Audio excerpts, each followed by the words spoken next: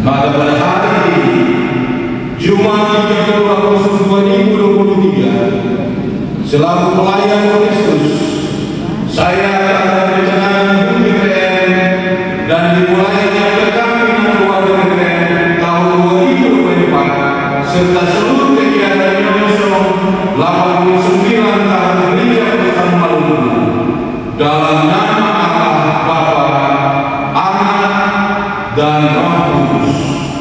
Tuhan memberkati kita semua. toils and.